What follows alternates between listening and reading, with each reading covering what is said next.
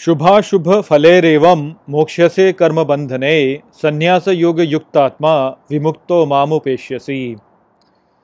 Hello friends friends this is the twenty eighth shloka of the ninth chapter of Bhagavad Gita and today we will understand this shloka in detail so let's first go over its meaning so the shloka says शुभाशुभ फलेरव means both inauspicious and inauspicious fruits.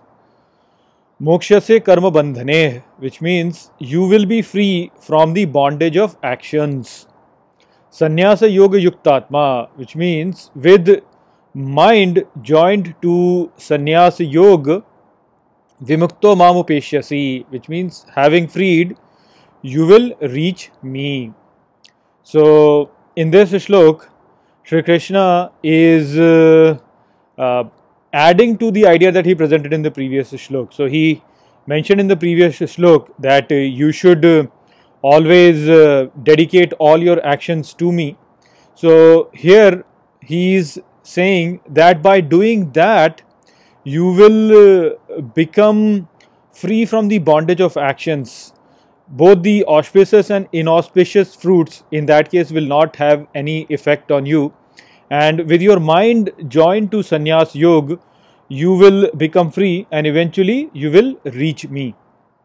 So the point that Sri Krishna is uh, making over here in simple words is that uh, by dedicating all our actions to Sri Krishna we become uh, completely unaffected by the results of our actions. So if they are good if they are auspicious or if they are inauspicious they don't really have much of an effect on us. We become free from the bondage of action, and uh, as we become free from that, uh, we stay uh, we stay in the sannyas yoga. We stay uh, joined to the divine, and by staying joined to the divine, we then eventually attain Him.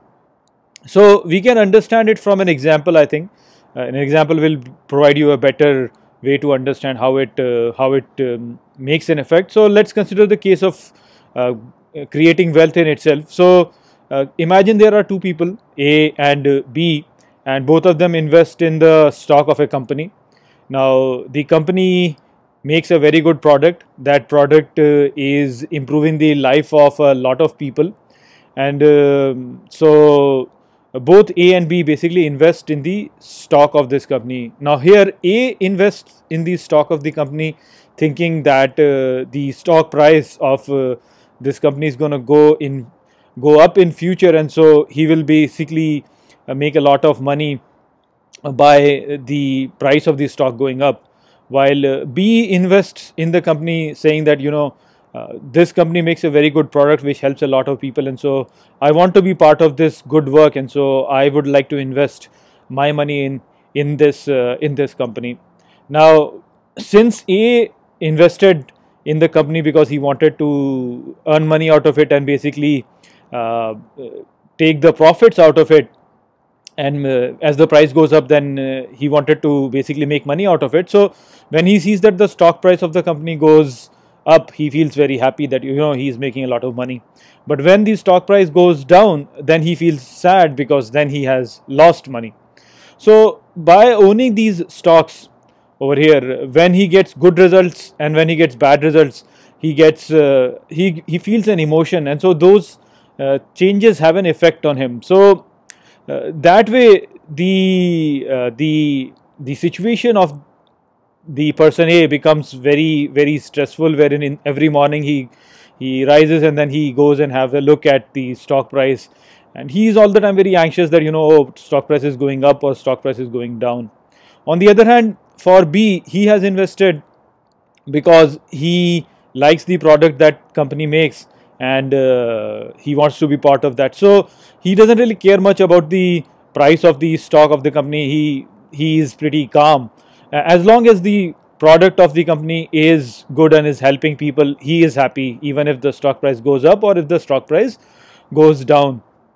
Now, when he realizes that the the uh, the product of the company is not really helping the people, then he just pulls his money out and he puts it in some other company which is providing good product which helps other people.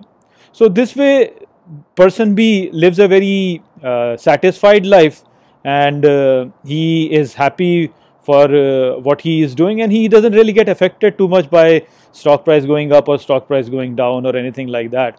So for uh, the same action which is buying the stock of a company a lived a very stressful life and he was all the time worried about things while b lived a very peaceful life completely uh, in happiness that uh, whatever he is doing is doing good to others.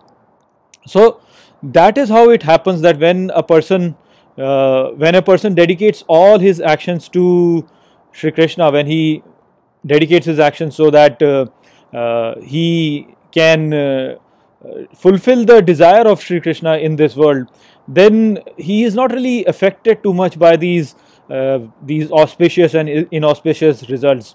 He stays away from all of that and uh, he stays joined with Sri Krishna.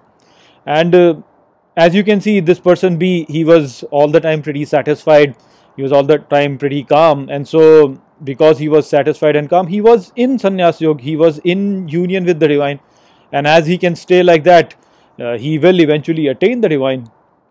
So, uh, that is what we have to understand how basically dedicating all our actions to Sri Krishna helps us in living a good life, a satisfied life, and uh, in the end, it takes us to the divine. So, I hope that I have explained this shlok uh, well to you.